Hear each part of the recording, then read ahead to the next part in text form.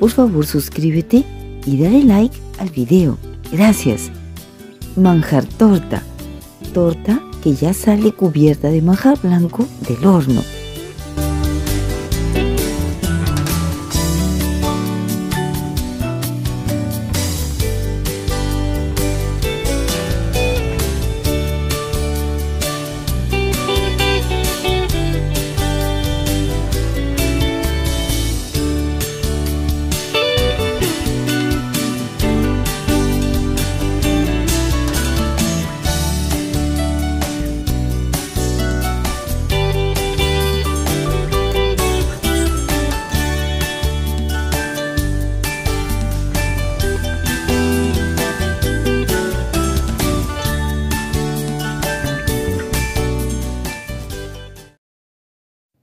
Miren, en las medidas, por coincidencia, son 150 mililitros de leche pura evaporada, 150 mililitros de agua y de azúcar son 150, donde dice 150 mililitros, hasta ahí lo llenan de azúcar, ¿ya?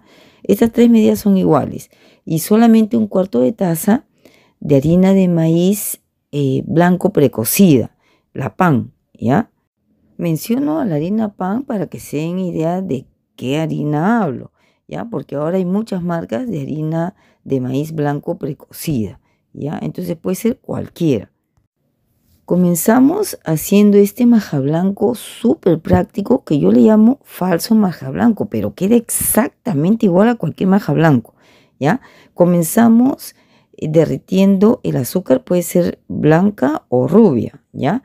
Si ustedes lo quieren hacer con chancaca, que a mí me parece súper fácil, rapidísimo, ni en 10 minutos ya lo tienen, este, eh, van a mi video anterior, que ahí he hecho, este, se llama falso maja blanco, ¿ya? Ahí voy a dejar en la descripción de este video el link, ¿ya? del video anterior, que está hecho con chancaca. Ahorita yo lo estoy haciendo con azúcar para que el que ya vio el otro video, este, vea cómo queda con azúcar. Bueno, una vez que derriten el azúcar, agregan el agua.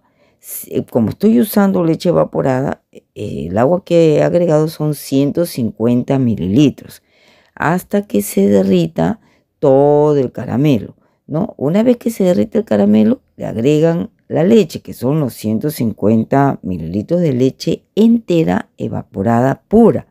Ahora, si ustedes quieren, puedo usar 300 mililitros de leche fresca, leche de coco, de almendras, lo que sea. Pero el sabor, o sea, el, sabor que tiene banja blanco es más por la leche evaporada, ¿ya? Crema leche también pueden usar, si no tienen en sus países este, leche evaporada, ¿ya? O sea que la crema de leche y la leche evaporada es lo que le, más sabor a maja blanco le va a dejar a este falso maja blanco que yo le llamo, ¿ya? Bueno, una vez que ya este, derritieron todo, van agregando eh, la harina precocida en forma de lluvia, de a poquitos. ¿ya? si ustedes ven mi video donde el que hice de chancaca, yo eché todo de un porrazo y se hicieron unas pelotas horribles que después yo tuve que estarlas chancando ahí con, el cucharón. ¿ya? Se, se va echando así en forma de lluvia y miren, ha quedado súper, súper, súper este, lisita la, la, preparación, ¿ya? Y entonces vamos a mover, una vez que ya terminaron de echar toda la harina, hasta que espese. Una vez que vieron ustedes que ya espesó, agregan una cucharadita, cucharadita colmada de mantequilla o margarina. Yo aconsejo margarina porque siento que le da este, un saborcito más rico, ¿ya? Pero ustedes si no le gusta y usan mantequilla, perfecto no pasa nada. Entonces, este, y es cualquier margarina, es esa margarina con sal normal, ¿ya? Y vamos a mover hasta que espese completamente, ¿ya? Miren, ustedes no tienen que hacer este maja blanco, pueden comprar su maja blanco, pero ¿qué pasa? Como acá tenemos que utilizar 500 gramos de maja blanco, entonces ya no vale la pena hacer este queque, eh, perdón, esta torta. Esta torta es de origen europeo. Entonces, es cara y es también un poco complicada porque hay que usar este, un molde especial y todo. Ya, yo he simplificado todo y ha quedado igual de exquisita. ¿Ven? Acá ya tenemos nuestro medio kilo de maja blanco repostero, ¿ya? Entonces nosotros este, simplemente lo que tenemos ahora que es que dejar enfriar, ¿ya? Ahora, como les digo, si ustedes quieren lo compran, pero medio kilo de maja blanco así, todo eso, ese que se agua, cuesta 11 soles, 90, o sea, 12 soles, ¿no? Pues ya no resulta. Bueno, dejamos enfriando ahí nuestro maja blanco y vamos a batir, o vamos a con el que, con la torta, pues la masa de la torta, ¿no? Batimos dos minutos los huevos con el azúcar hasta que espumen las, los, huevos, ¿ven? Y agregamos el yogur. Miren, en vez de emulsionante, eh, estamos reemplazándolo por el yogur. ¿Entienden? Ya no tienen que comprar emulsionante, que es lo que va, hace que la torta quede esponjosa, suave y húmeda. ¿ya? El emulsionante sobre todo deja húmedas las masas y eh, lo que las hace durar más tiempo frescas, pues, ¿no? Ya, en vez de eso, estamos usando yogur, miren qué magnífico. Ya, el yogur sí lo echan solamente hasta que se mezcle.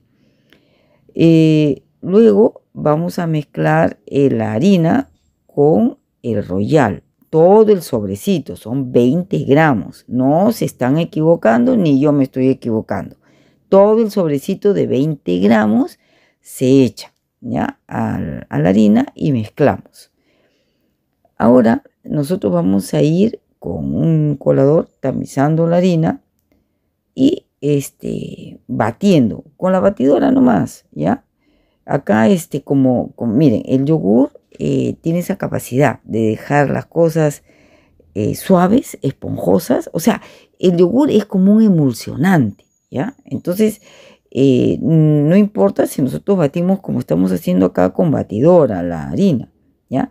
Entonces eh, vamos agregando de a pocos, eh, se integra el poco, no vayan a echar de a porrazo toda la harina, o sea, la van echando de a pocos, baten. Otro poco, baten hasta que se integre, ahí recién echan otra parte, ¿ya? por si acaso el yogur que estoy usando es yogur natural griego que lo consigo bien baratito en los supermercados más, a un solo 80. Pero si ustedes quieren, pues se compran de cualquier marca. Si no consiguen natural, simplemente compran de vainilla. ¿ya? Bueno, entonces miren, yo como estoy con una mano nomás, he dejado ahí batiendo la batidora. Al final, ustedes van a agregar el aceite en forma de hilo, ¿ya? Fijándose que todo quede bien integrado, ¿ya? Eh, porque a veces si no batimos bien, el aceite puede quedar flotando por ahí. Ya se fijan que todo quede bien mezcladito.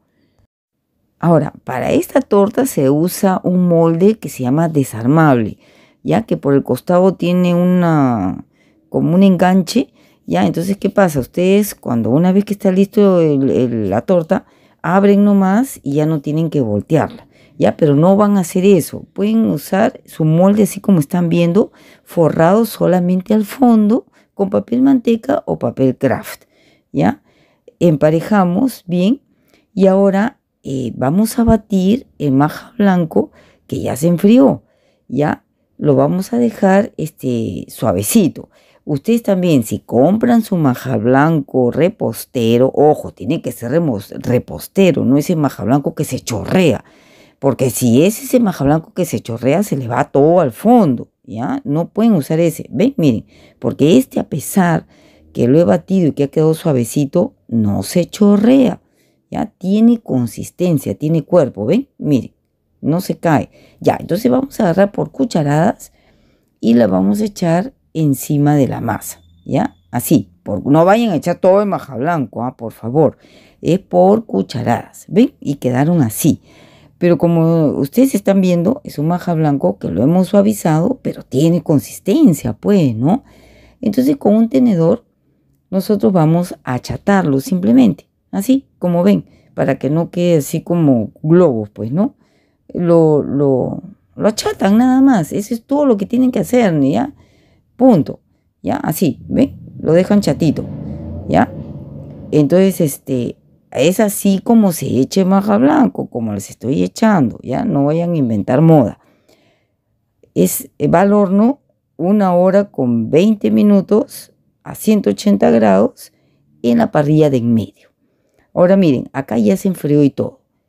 Para desmoldar, ustedes pueden utilizar una espátula, como me están viendo, para retirarlo. ¿Ven?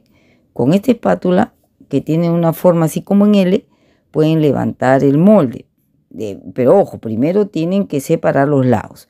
Pero lo más práctico es agarrar, como yo he hecho. Ponen una bolsa de plástico por, por el maja blanco, pues no vayan a poner un plato y voltearla directo, porque se va a pegar el maja blanco. ¿Ya? En una bolsa de plástico voltea y después eh, voltean nuevamente la torta en el plato en el que ya va a quedar. Porque ven, miren, con la cuchara les estoy mostrando que maja blanco de todas maneras ha creado como una ligera capita, una costrita encima, ¿ya? Que no es que se pega, eh, perdón, no es que se pega fácilmente, pero de todas maneras con el peso sí se llega a pegar pues a otra superficie, ¿no? Entonces, es así bien rápido. Ustedes ponen su bolsa de plástico, voltean a un plato y después ya al plato definitivo en donde va a quedar así la torta, ¿ven? Miren, eh, queda exquisita. Visualmente también me parece encantadora, ¿ya? Queda preciosa la torta. Y es este súper suave, esponjosa. Y el maja blanco, yo he cortado aleatoriamente, pues un, cualquier pedazo, ¿no? Pero como ven, en algunas partes el maja blanco va a caer, ¿ya? Eh, y miren, ¿ah? que es maja blanco repostero, ¿ya? Si ustedes usan de ese maja blanco que se chorrea todo, todo se va a ir al fondo.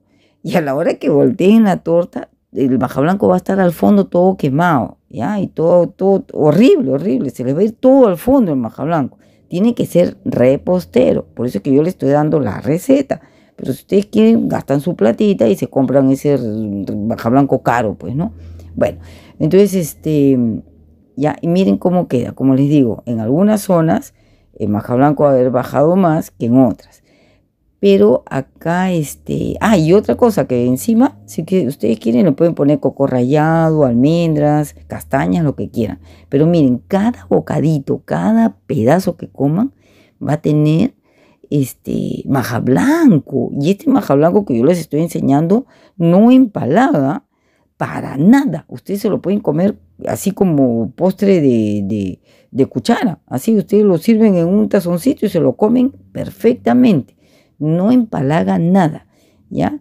Y ojo, no vayan a usar más de la cuenta de azúcar que eh, porque para la torta solo son 150 gramos, porque con el maja blanco ya quedaría pues este, uff, demasiado dulce, ¿ya? Usan lo que, mire, así como les doy la receta, así es, ¿ya? Y les sale deliciosa, como les digo, cada bocado va a tener su buena cantidad de maja blanco, ¿ya? Es una delicia. Ustedes comen su, su torta con su maja blanco, no hay necesidad de rellenarla ni de nada, porque ya sale con su cubierta que todavía tiene así su, diseño, pues, ¿no?